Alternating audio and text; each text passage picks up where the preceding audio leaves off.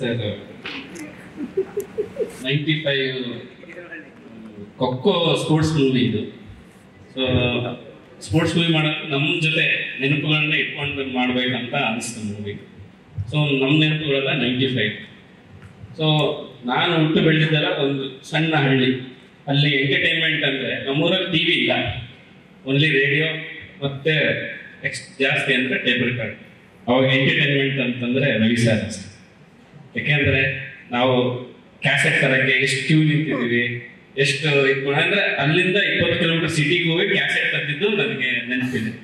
ನಮಗೆ ಹಾಡು ಅದೇನೋ ಬೆಳೆದಿದ್ದೀವಿ ಒಂದು ಎಂಟರ್ಟೈನ್ಮೆಂಟ್ ನಮ್ಮೂರಲ್ಲಿ ಸಿಕ್ಕಿದೆ.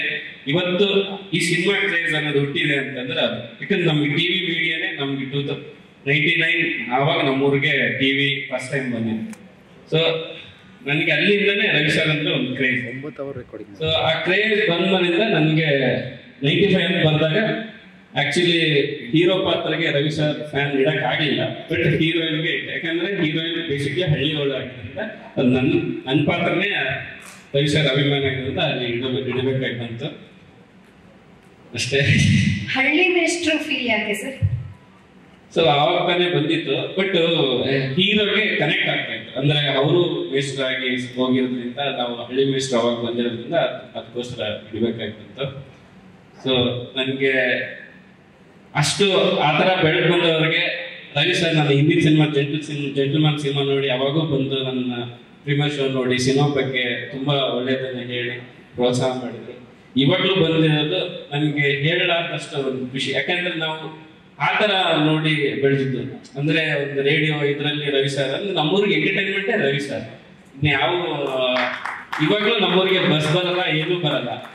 ಟಿವಿ ಎಲ್ಲ ಇದೆ ಬಟ್ ಅವಾಗ ಎಂಟರ್ಟೈನ್ಮೆಂಟ್ ಅಂದ್ರೆ ಅವರು ಅವ್ರು ಬಿಟ್ಟರೆ ಬೇರೆ ಮೀಡಿಯಾನೇ ಇರಲಿಲ್ಲ.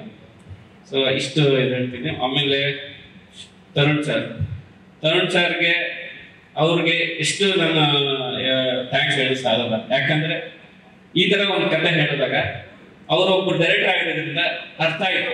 ಫಸ್ಟ್ ಟೈಮ್ ಓಕೆ ಚರಣ್ ಸರ್ಗೆ ಸ್ವಲ್ಪ ಇದು, ಅವ್ರ ಚಿನ್ಮನೆ ಸ್ವಲ್ಪ ಬೇರೆ ತರ ಈ ತರದ್ದು ಮಾಡೋಣ ಜಸ್ಟ್ ಒಂದು ಲೈನ್ ಇಟ್ಕೊಂಡು ಹೋಗಿದ್ದೆ ಅಷ್ಟೇ. ಈ ತರ ಬಿ ಟಿ ವೇಸ್ಟ್ ಅಲ್ಲಿಂದ ನಾವು ಜೊತೆ ಕುತ್ಕೊಂಡು ಈ ತರ ಮಾಡು ಚೆನ್ನಾಗಿ ಈ ತರ ಮಾಡು ಈ ತರ ಮಾಡು ಅಂತ ಒಂದು ಪ್ರತಿಯೊಂದು ಹಂತದಲ್ಲಿ ಇದ್ದು ಇಲ್ಲವರೆಗೆ ಅವ್ರು ನನ್ನ ಸಪೋರ್ಟ್ ಆಗಿ ಮಾಡ್ಕೊಂಡು ಬಂದಾರೆ ಅವ್ರಿಗೆ ಥ್ಯಾಂಕ್ಸ್ ಹೇಳಕ್ ಇಷ್ಟಪಡ್ತೀನಿ. ಆಮೇಲೆ ನಾವು ಶರಣ್ ಸರ್ ಅದೇನ್ ಸರ್ ಅಂದ್ರೆ ಶರಣ್ ಸರ್ ಅಂತ ಹೇಳ್ತಿದ್ರೆ ಈ ತರ ನಗು ಶರಣ್ ಸರ್ ನನ್ನ ಆರ್ ಜಡೇಶ್ ಅಂತ ಇಟ್ಟಿದ್ದಾರೆ. ರುಬೋ ಜಡೇಶ್ ಅಂತ.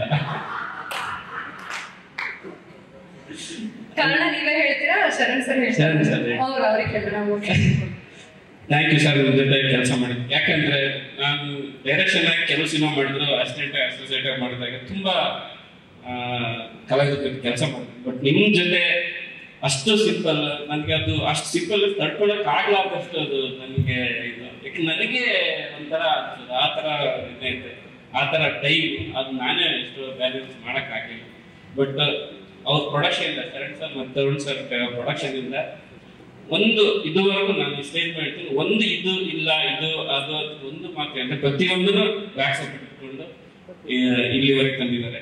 Thank you sir thank you Tarun sir thank you sir ಆಮೇಲೆ ನಿಶ್ವಿಕ.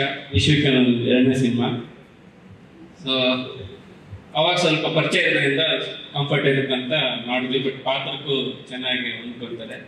ತುಂಬಾ ಚೆನ್ನಾಗಿ ಕಾಣ್ತಾರೆ. ಹಳ್ಳಿ ಗೆಟಪ್ ಅಲ್ಲಿ ತೋರಿಸಿದ್ವಿ. ಫಸ್ಟ್ ಟೈಮ್ ನಿರ್ದೇಶಕ ಹಳ್ಳಿಯಲ್ಲಿ ಮಾಡ್ತಿರೋದು ಸೊ ಕ್ಯಾರೆಕ್ಟರ್ಗೆ ಚೆನ್ನಾಗಿ ಮಾಡಿದ್ದಾರೆ.